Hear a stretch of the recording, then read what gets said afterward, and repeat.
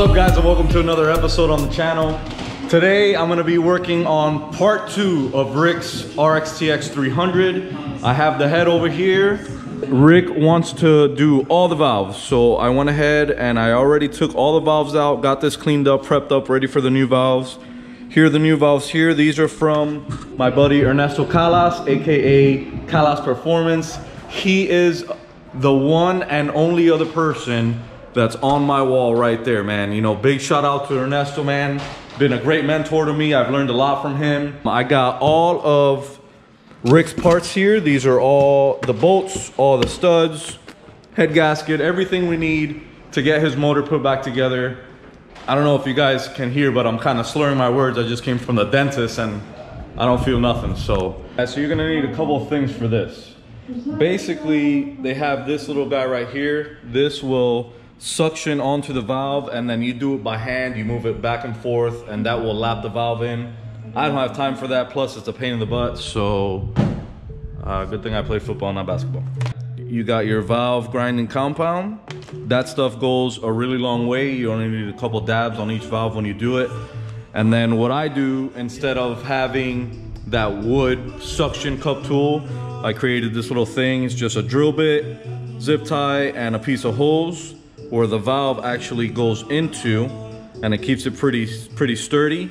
And then with the drill, I use that to go back and forth to lap the valves in. That way I don't have to fight with the, the wood thing and, and uh, you know, and lap them in. It's a pain in the ass. So I'm gonna start doing that. You guys will see a little bit, probably not record the whole thing, but you'll get the idea. So we'll get it going.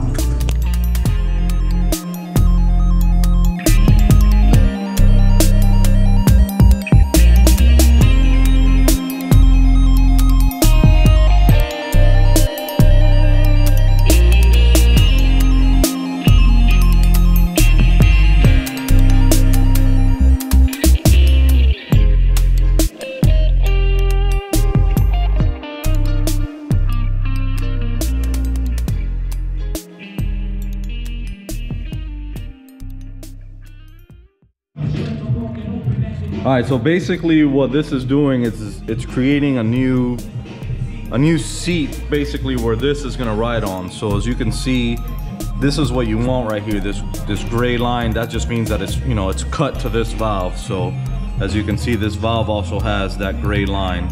So now this will match with this and I can move on to the next one. So we're gonna do that to all the valves. And then once that's done, I'm gonna get springs and retainers and stick them all on there. So let's keep it going.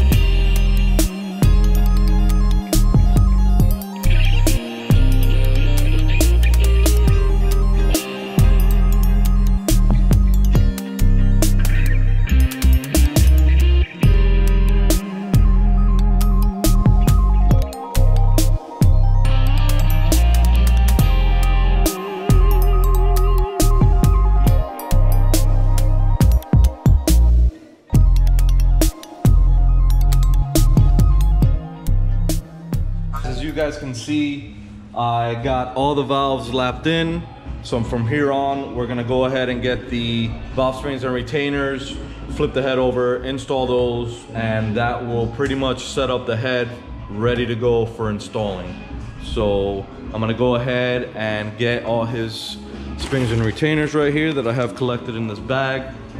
And um, I also have the uh, Real easy tool, man. Riva sells this. It will help you do the job a lot easier. And uh, yeah, let's keep it going. All right, now with the Riva tool installed, what this does is this allows me to compress the spring so that I could go ahead and put the keepers in on either side of the valves. And I'm gonna explain that real quick. So here's your valve. The valve has these little grooves up top.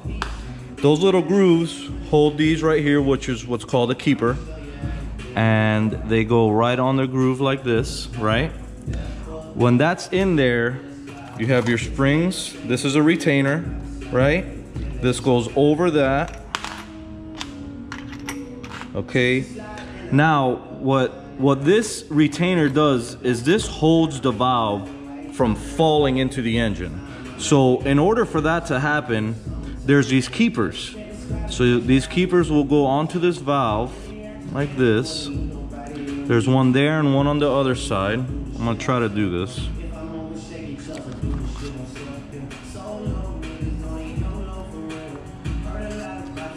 All right, and then that's what holds the valve together. So this is how it would look inside of here. So you can see the valves are in there, they go through there. So this is how it's set up. So if this retainer up here, if this or these were to fail, you're gonna destroy your engine basically.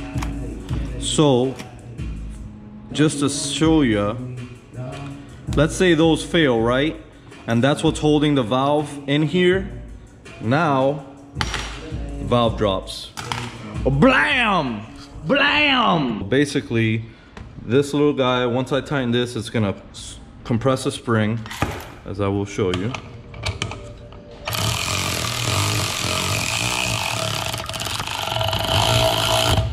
All right. Now what that does is it gives me access to put these little tiny keepers in. I use this little magnetic screwdriver and I throw some of this on here just so that the keepers stay stuck to it. Because sometimes you put the keepers and they fall out when you're playing around so let's try it. Let's see how it works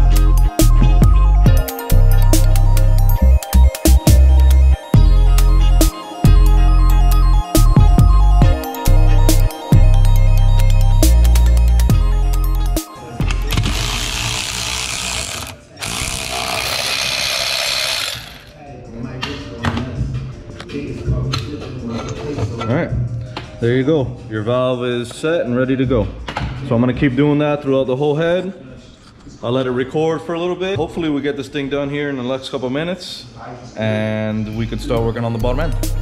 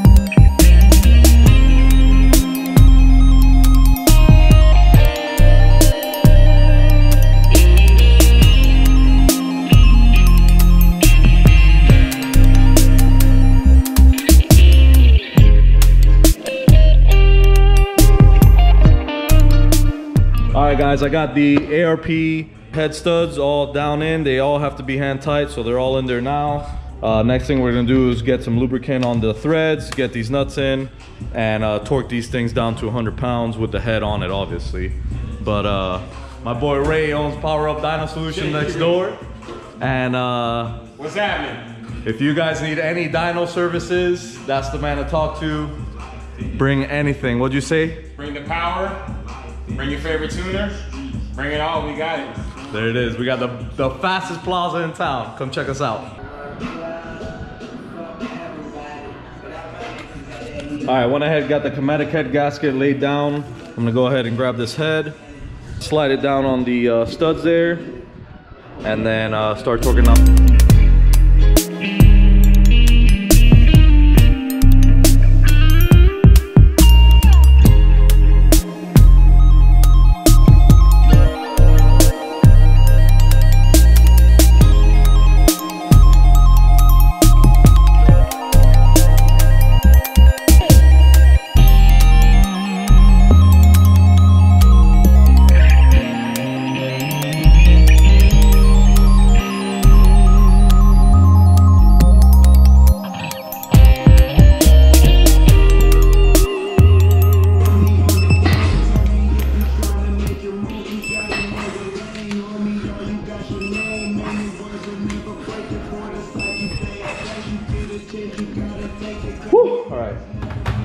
That's that.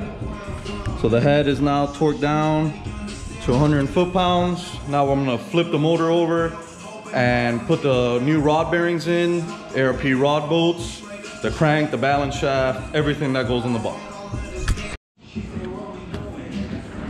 Yo, so I just came on here, right, to check, check, check YouTube. Because obviously I'm trying to get paid with this, right? I'm not doing this for free. So, we've hit over a thousand and over 4,000 public watch hours. Yes. Thanks to everybody that subscribed and has watched the videos. I appreciate it. We've done this in two months.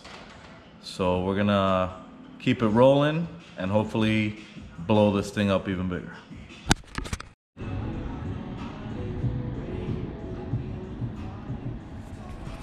All right, as you can see, I have Rick's bottom end stuff here. So these are the new rod bearings. I use only Sea-Doo OEM parts for this stuff.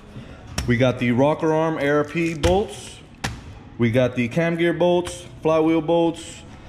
I got some new guides for him because his old guides, as you can see, got all chewed up from the previous timing chain.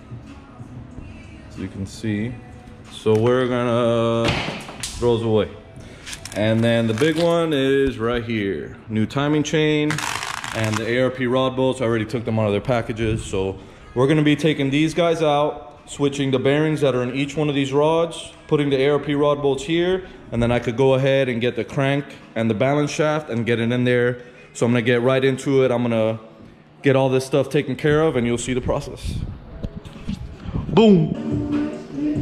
All right, so I just had uh, Nelson drop off this, I wanna say it's a 2007 or 2008 RXP, having real bad cavitation problems. Check this out. I was hoping it was just a wear ring, uh, but obviously it's not just a wear ring, so I told him go ahead and just drop it off for me. I was gonna change the wear ring real quick, uh, since he lives about 30 minutes from me. But, uh, you know, once I took it apart, it was obviously needed a little bit more love. So uh, I'm gonna leave that alone for now, probably get to it later. I'm gonna keep chugging along on this motor. I went ahead and removed this flywheel and the magneto and the crank pickup wheel. So that way I could see this timing mark right here. So that timing mark has to line up with the timing mark on the balance shaft. So what I do is I just put it right onto it like that and then I just roll it down. And that will put you put your timing with the balance shaft perfect every single time as you can see. So that means it's ready to go. Drop in some thrust washers here here. Throw some assembly lube and keep on going at it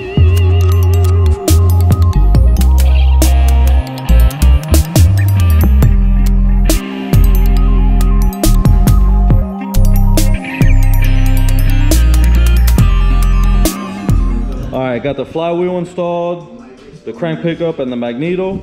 Next thing is to get our red Loctite, hit all the ARP flywheel bolts. Those will go in here. My boy Angel came by to work on his wife's ski.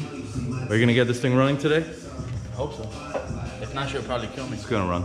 She's gonna kill you. Yeah. Forensic files. Or what is it? It's been sitting in the garage for like six months without being touched. Six months in the garage. Sounds like my stuff.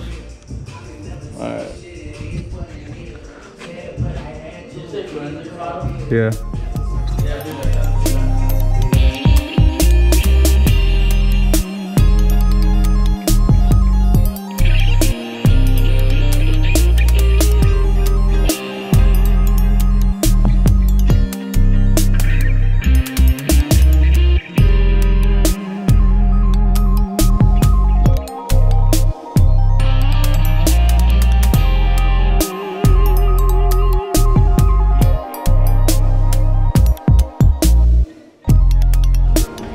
Got the assembly lube wherever the bearings are gonna be touching. Just a slight little line of silicone. You don't have to kill it. And now we could switch this guy and put it on there.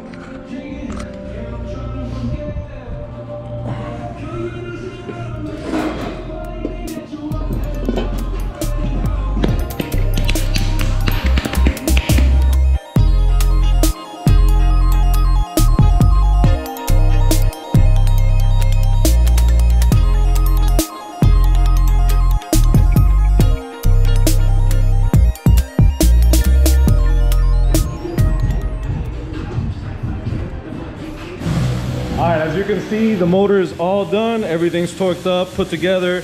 Yo, I'm trying to make a video over here. Man, so rude. So yeah, everything's torqued up, ready to go. Tomorrow I'm gonna go ahead and get this one back in there. I gotta clean up everything inside of the ski though. There's some coolant in here, some bolts laying around. We don't need those bolts, just lightweight now. So uh, get everything in there tomorrow and go test it. Hopefully, hopefully I know how to build a motor. So, oh, Angel got that new swag on though. What's up, model? Model. Aye, yeah, yeah, yeah. So we changed the shirts up a little bit. I got the website is gonna be up soon, and uh, you guys could order the merch on there. I got. I'm gonna try to get hats and armbands and shirts and whatever the case may be. So just hold on for that one. It's kind of hard to do that and everything else we're doing. So, but uh, yeah, you got that? But yeah, man. Yeah. Yeah. So I gotta ship out a couple packages today. I screwed up and I forgot to send the catch can. My wife is here. Hi wife. It's my wife. Oh hi.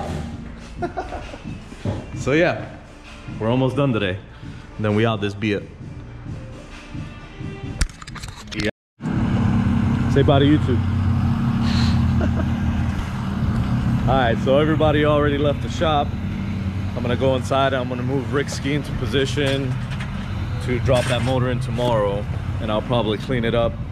And then uh, as you guys can see I have my computer opened up because as soon as I finish moving Rick's ski I'm gonna edit this video